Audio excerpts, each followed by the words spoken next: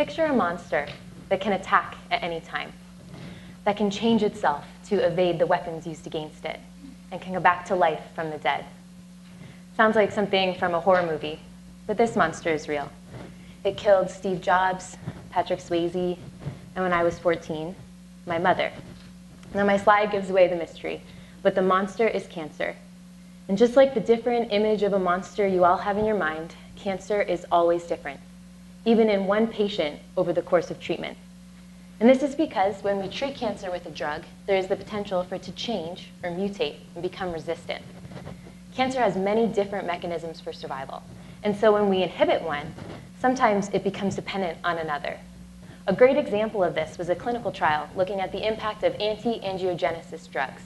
These are drugs that stop cancer's ability to grow new blood vessels towards it, bringing fresh oxygen and nutrients.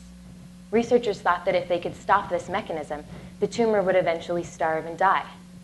The problem was patients on the drug still died in the same amount of time, except without one large tumor, they had multiple small aggressive tumors all over their body.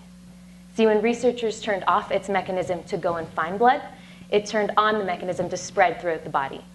But what if they could have predicted this? What if they could have predicted the primary and secondary mechanism and treated them together? Well, this idea is called combination therapy, and it is a great idea in theory. Because with 160 different approved chemotherapy drugs, finding the right combination by clinical trial is not only complicated, but expensive and potentially dangerous as multiple drugs can mean multiple interactions and side effects. So if these killer combos do exist, how do we find them? Well, we compute them. I have created a computer simulation of cancer where we can actually watch it grow from the initial mutation to a fully detectable tumor in a matter of hours, adding treatment at any point along the way. I've studied 120 different combinations of treatments and looked at their impact on the cancer growth. I have found some combinations that effectively stop the cancer, and surprisingly, five dangerous combinations that make cancer worse. The key here is we found all this without making patients sick, costing millions of dollars, or taking the 12 years the average clinical trial takes.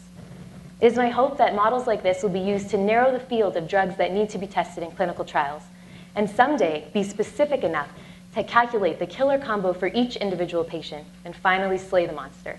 Thank you.